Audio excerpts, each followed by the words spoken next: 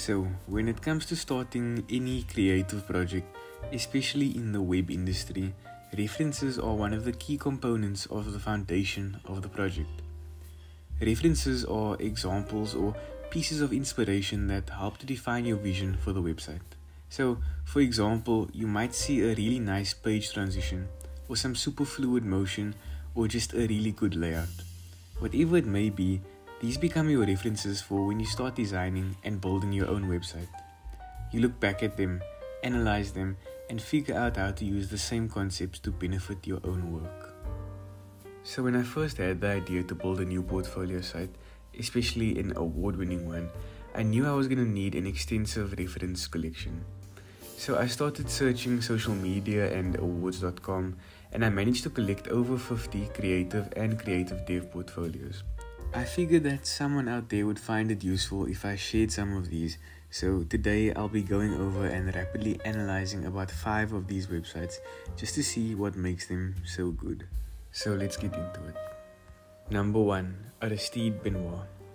So, this is one of the simplest and smoothest portfolios I've ever seen, and it makes sense.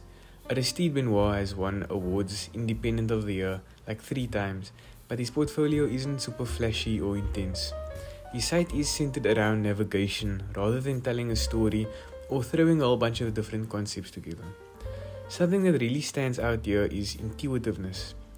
When I'm using the website, it feels as if every detail and movement has been thought of, almost like the website is predicting my next move. The navigation works with keyboard, mouse dragging, trackpad scrolling, and probably brainwaves to deliver intuitiveness that makes this one of the smoothest portfolio presentations on the web. Number 2. Huy Phan. So I chose this portfolio to highlight uniqueness. Everything here is giving you an insight into Huy's personality. From fun animated illustrations to this edgy typeface here in the center, nothing seems to be quite standard. Now that can be harmful if done the wrong way, but in this case it's kept minimal and undistracting, if that's a word. He's also giving us a masterclass in layout design in the site using that to distill a lot of information and different elements into something that's quite easy to digest. This portfolio helps to understand how to use your personality to make your portfolio unique. Number 3. Ben Mingo. Ben Mingo is not a web developer, he's a designer.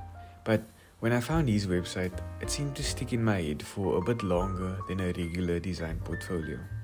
After looking at it over and over again, I think that boils down to impact. Impact is the thing that truly puts your portfolio on another level, and if you look at this portfolio, it seems to achieve that with very little. Taking a quick glance at the site, it seems maybe overly simple, but I think that works to its benefit. You go to the portfolio and you can see the work. You click on an image and you can see that image a bit bigger, and you navigate to selected work and it feels like you were already there. This website focuses on subtlety, user experiences, and simplicity to create impact, making it stand out. Number 4 Bruno Arizio. One of, if not my favorite portfolio at the moment. At the time of filming this, his portfolio just won Awwwards Site of the Day, and for good reason.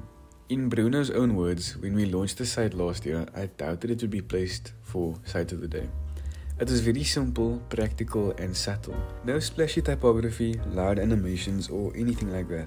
Just plain old Helvetica rendered in subtle and elegant animations by Jason Bradley. And I think that's what makes this one of my absolute favorites. The site feels like a high end art gallery that doesn't let just anyone in. That elegance, thoughtfulness, and practicality help to elevate Bruno's work, making it feel that much more refined. What we can take away from this is that creating a feeling of elegance and quality around your work can make your work seem even better. And number 5, Thomas Monavon.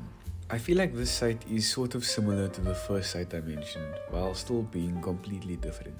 This site's main focus is on an infinite snapping scroll through each of Thomas's projects, and on a surface level, there's not much else to see.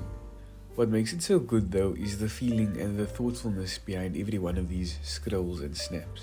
They took the same principles used in those movements and echoed it throughout the website. So when navigating through, those subtle animations and functionalities throughout make you feel like the website knows your next move before you do. All of this motion works together to create a feeling of hyper responsiveness. So, like the opposite feeling of using an infotainment system in a car, for example. It makes the website fun to use and encourages the viewer to stay and explore. So, I know that was quick, but as you can see, with every award winning portfolio, there's something valuable to take away from it. Taking different aspects from each of these and using them in your own way is what web design and development usually comes down to at the end of the day. By taking the time to do this, I've added the following concepts to my toolkit that can help me when building my own portfolio. 1. Navigation can turn clunkiness into intuitiveness. 2.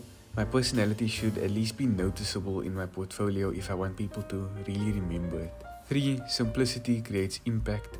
4 elegance, thoughtfulness, and practicality of my site all elevate my work. And 5. I can use subtle animations and functionalities to make the user feel like my site knows their next move. Cool. So, if you found this valuable, you should check out the description for a longer list of the references I collected. In there will also be some sources you can go to for finding your own references. And lastly, if you want some more free resources to help you in your journey, you can check out my free newsletter, The Toolkit, right at the top of the description. Anyways, thank you for watching.